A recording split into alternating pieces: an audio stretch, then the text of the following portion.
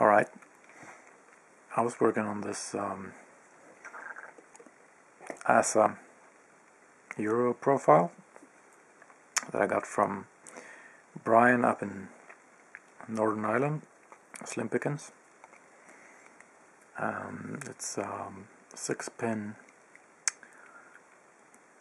really tough, tight keyway, awesome bitting, and really nice tolerances. I'm going to show you the key. This is the key for it. Check that key out. Amazing. I managed to pick this one twice since I got it last autumn, I think. Um, once back then and once now this morning. And I, I was surprised to get it open. So um, I continued trying to pick it uh, while the camera was running. I got nothing. I got the false set, but that's about it. So um, we're not going to focus on that today. Instead, we're going to focus on the Coral Made in China padlock. This is a 40 millimeter padlock that I I don't remember where I got it.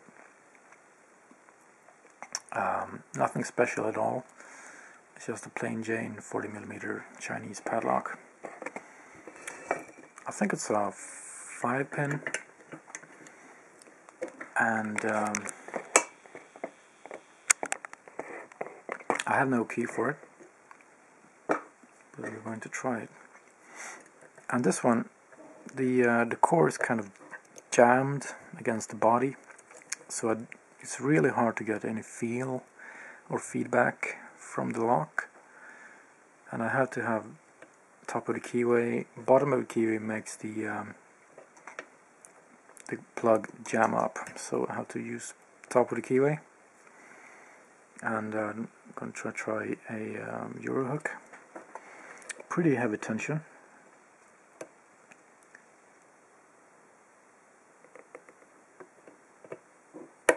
one Oh, it's overset already. How about that?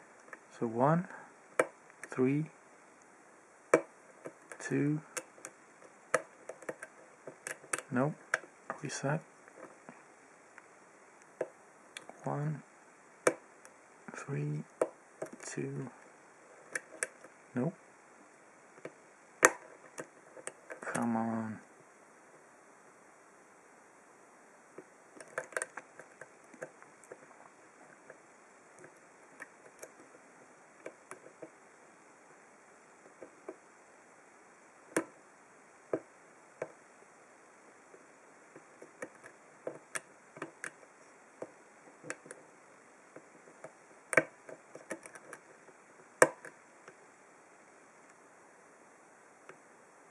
There we go.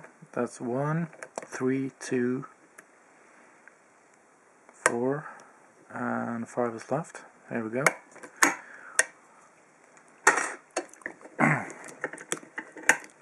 Pretty difficult to um, to pick a lock if you can't uh, have uh, feel any feedback from the picking. So that's the Coral 5 pin made in China. Finally I can trash this. So, um, alright.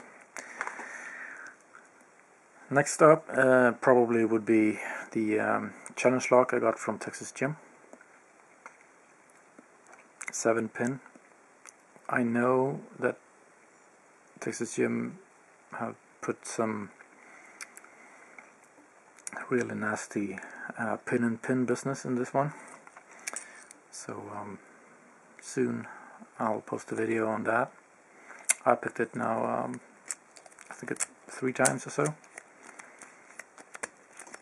It works, kind of. So um, until then, thanks for watching and see you soon.